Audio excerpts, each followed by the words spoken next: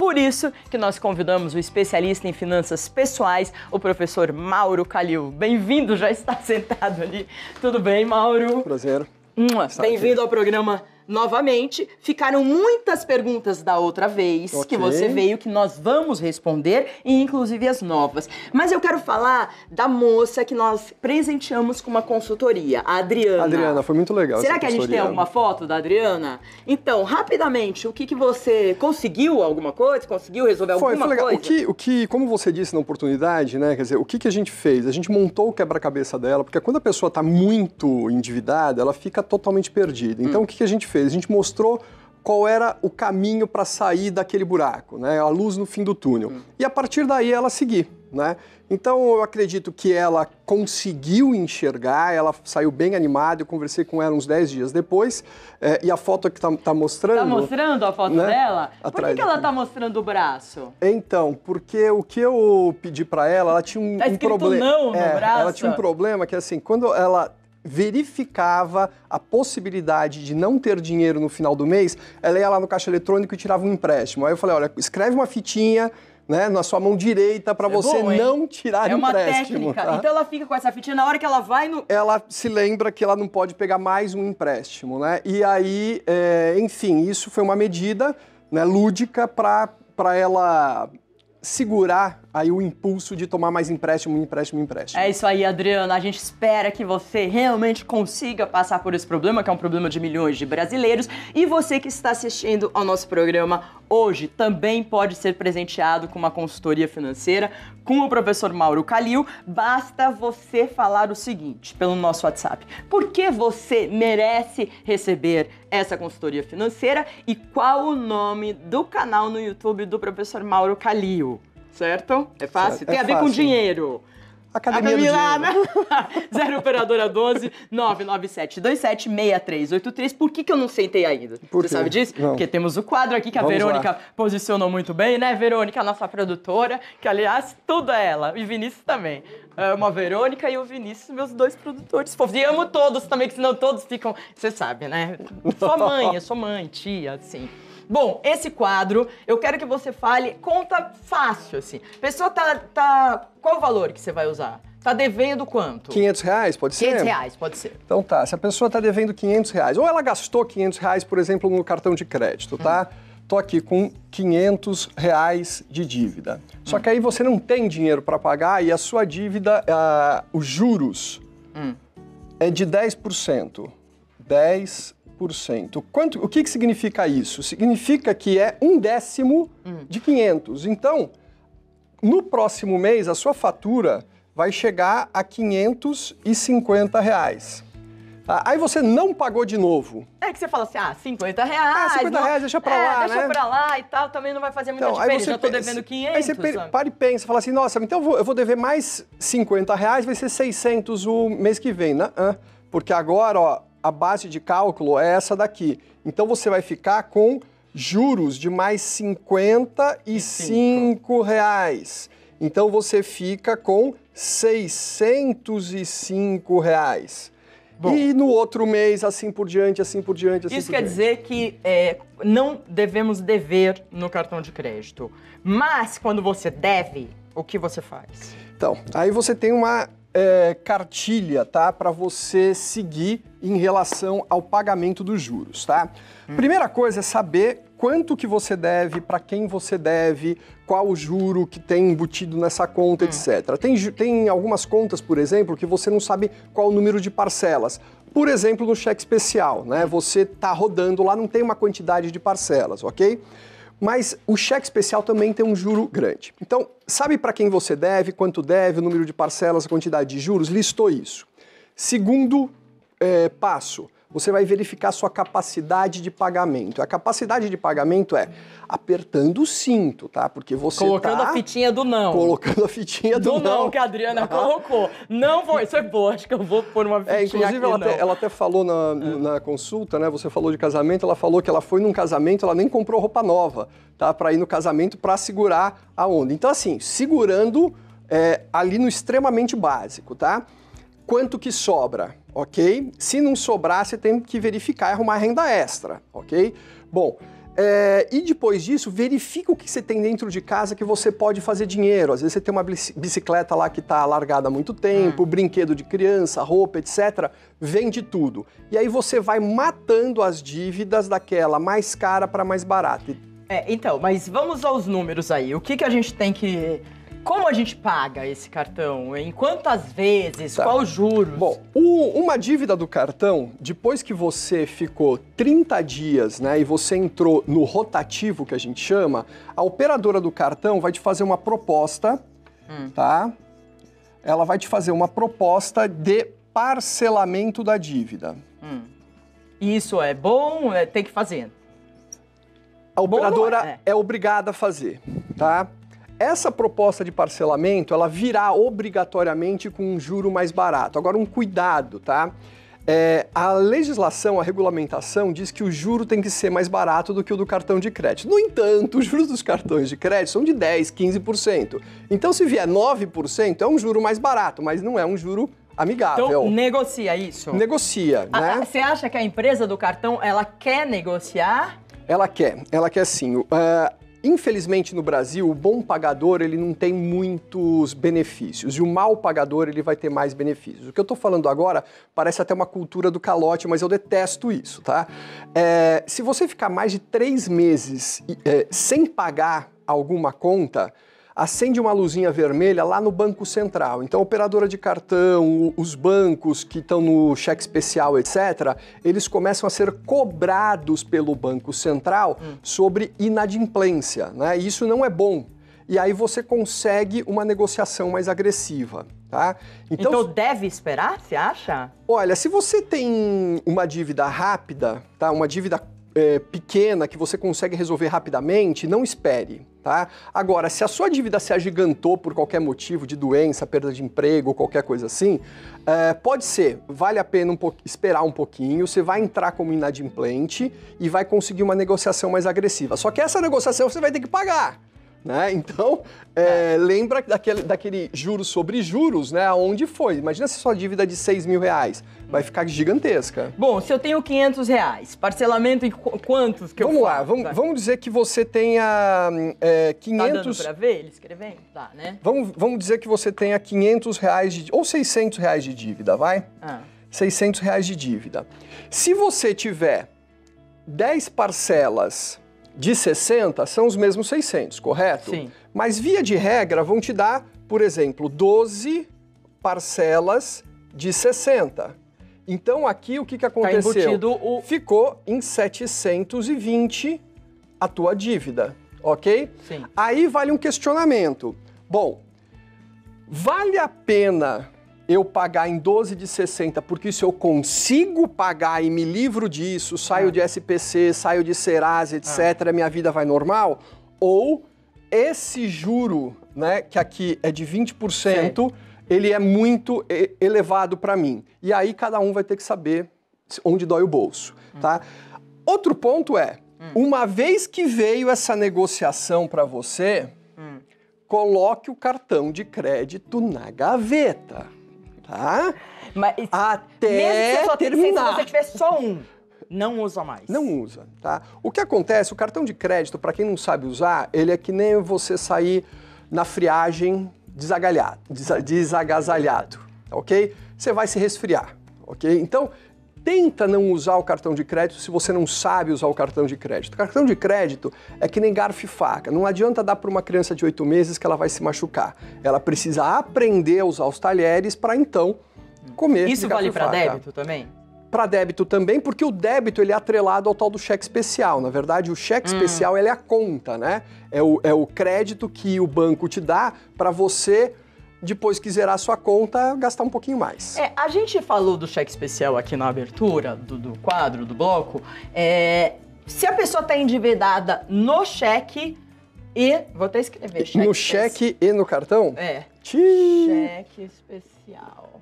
Minha letra não é das melhores. Você está querendo deixar minha vida difícil hoje, é isso? Ah, mas. é isso aí, tem que deixar é. difícil, porque o, o meu telespectador vai estar tá perguntando, daí ele vai falar, ela não perguntou É, mas isso é verdade. É, muitas vezes as pessoas estão endividadas não em um único meio de pagamento, em vários, e ainda tem outras dívidas, né? Tem dívida atrasada na conta de água, conta de luz, enfim, um monte de outras coisinhas. Vale a mesma coisa, tá? A mesma cartilha. Você vai listar para quem você deve, quanto que você deve, etc. Tá? Nesse caso, se você tem contas de consumo atrasado, o que eu sugiro é você pagar essas contas primeiro, tá? Porque não Porque dá para ficar sem luz, luz, o é. telefone, Entendi, etc. tá. Tá? Tá então tem que tomar um pouco de cuidado com isso. Né? E o juro, apesar de ser baixinho, né? É, se livra logo disso para tocar a Tá, vida normal. mas cheque especial tem um juro de quanto? Uns 13% por Não, mês? um cheque especial um pouco menor, é de 7 a 8% Lá no meu menos. banco eles, eles põem 13%, não sei porquê. Esse banco aí eu vou te dizer. Tá, O cheque especial, ele também tem uma regra, tá? Que é, ela veio da questão dessa nova regra do, do cartão de crédito, mas quando a pessoa fica 15 dias, pelo menos, com pelo menos 15% do limite é, do cheque especial estourado, o banco é obrigado a oferecer uma taxa de juros mais vantajosa, ok? E aí vale o mesmo cuidado. Às vezes É. o seu cheque especial é de 7%. Eu atendi já duas pessoas depois dessa, é, dessa hum, nova regra. A taxa de juros de 7%, o banco já mandou uma proposta de 24 parcelas, tá? Com taxa de juros de 6,5%. É mais vantajosa? É, matematicamente é, mas não é tão vantajosa assim. Então vale a pena você sentar com o gerente, negociar, etc. Ah, e um outro ponto. É, as pessoas acham que fazendo uma aplicação financeira, ela fala, ah, qual é a aplicação financeira para eu resolver esse assunto? Esquece, tá? A melhor aplicação financeira para quem tem dívida é pagar as dívidas, tá? Por vários motivos. O primeiro é o motivo matemático, porque ah, o juro contra você ele é sempre maior do que o juro eh, que você vai receber numa aplicação financeira conservadora, É, óbvio. mas geralmente quem não tem dinheiro não faz aplicação, não é, professor? Então, tem muita gente que tenta fazer Tenta? isso. Ah, eu vou poupar aqui. E tem muito gerente de banco que também fala isso. Não, olha, você vai comprar um carro. Vamos fazer o seguinte, a gente faz um financiamento para você, deixa teu dinheirinho ali na poupança. E o financiamento tem juros de 2, 3% ao mês, né? E você não consegue, obviamente, com o dinheiro da poupança cobrir aqueles juros. Vamos responder as perguntas? Vamos lá. Vamos sentar agora. Estou recebendo aqui o professor Mauro Calil, da Academia do Dinheiro, no YouTube. Tem vários vídeos lá que ele explica passo a passo, se você tiver mais dúvidas. Mas vamos às dúvidas dos nossos telespectadores agora. Fátima, bom dia. Vale a pena pagar contas de concessionárias e boletos com cartão de crédito? É, Boa isso pergunta. é, isso é possível, mas na minha opinião não vale a pena, porque quando você paga uma conta dessas concessionárias no cartão de crédito, a operadora do cartão ela vai cobrar um juro de você, porque ela está pagando à vista para a concessionária é, e está te dando prazo, e ela vai cobrar um juro altíssimo. Entendi. Próxima pergunta. Maria Berenice. Me chamo Maria Berenice, moro em Olinda, tenho um débito no cartão de crédito. O valor aumenta muito todas as vezes que eu quero pagar, não é, não consigo à vista, parcelado só em 24 vezes. O que devo fazer para ficar livre desse débito? Exatamente o que a gente estava. Isso, Maria Berenice, esse é o caso aqui, tá? Que a gente acabou de dizer. Você é, tenta uma negociação, tá? Mas se essa- esse parcelamento for vantajoso para você, embarca nele e tenta pagar mais rápido. Vamos ver a próxima. Ah, Ricardo, bom dia. Gostaria de um auxílio com relação à questão financeira. Tenho dívidas em dois bancos. Isso acontece muito também. Fiz acordos, porém não consigo quitá-las. Devo dar prioridade um por vez? Boa pergunta. Ele é de Goiânia. Sim, Ricardo, dá prioridade um por vez, tá? Porque hum, é, o pior do acordo é não conseguir honrar o acordo, tá? Porque aí você volta origina- na, na sua situação original e ainda fica com a dívida do segundo do acordo que você fez. Então, um de cada vez, que aí você toca a vida. Vai demorar um pouquinho mais, mas você chega lá. É tentar um empréstimo num terceiro banco. Aí ele vai Não. ficar com três dívidas. Então. Tem que tomar um pouco de cuidado. Essa engenharia financeira, ela é um Então, pouquinho muitas complicada. pessoas fazem, tá? ah, eu tô aqui, aí pega do outro e, e aí- Tem, uma, tem um empréstimo que é o que a gente chama de home equity, que é você tem uma casa quitada, ok? E isso para o brasileiro é algo que dói no coração. Você tem uma sua casa quitada, aquela que você mora, você dá ela em garantia, toma um empréstimo no valor de até 30%, 40% do seu imóvel e paga as dívidas, e aí, e, e aí você paga esse empréstimo que tem sua casa de garantia. Isso costuma ser vantajoso porque o juro sobre empréstimo de casa própria, ele costuma ser menor do que 10% ao ano, enquanto que no, é, numa financeira pode ser de 8% ao mês. Né? Então, essa engenharia pode valer a pena. Agora, se a pessoa não frear o consumo, aquilo que deu origem ao endividamento vai, dela, vai, vai, a casa embora também. É, é, isso aí. Então, mas tudo isso é, tem muitas dicas no canal Academia do Dinheiro e também em outros canais. Escolha quem vai falar e quem você pode confiar. Né? O professor Mauro Calil, que pode confiar, então pode ir lá no, no Instagram dele, Academia do Dinheiro, e também no YouTube. Edson, fiz compras parceladas no cartão e não terminei de pagar, mas quero cancelar esse cartão.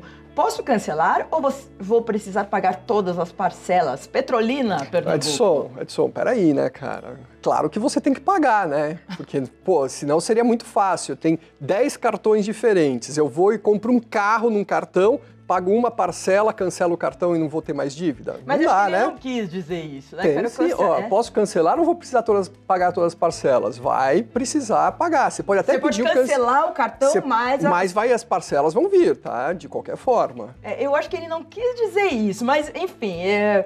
Porque às vezes, ou você está com dinheiro extra, você quer eliminar aquelas parcelas. Isso é uma boa pergunta. Devemos parcelar no cartão? Quem já, já não sabe lidar bem com dinheiro deve parcelar? Olha, é, eu não gosto muito de parcelamento. Tá? O parcelamento, inclusive, é uma modalidade brasileira, vamos dizer assim. Lá fora você não compra nada parcelado, tá?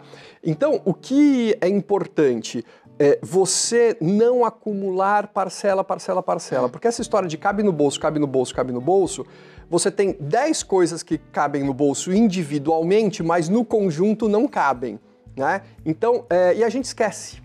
Né? A gente esquece, ah, mas 10 reais não vai fazer diferença na minha vida, 20 reais não vai fazer diferença na minha vida, 30. Quando vai ver, você tem 400 reais a mais. É, como né? parcelamento. Como parcelamento. Né? Então é complicado. A Fernanda, adoro Manhã Leve, obrigada Fernanda de Salvador. Gostaria de saber como funciona o parcelamento da fatura?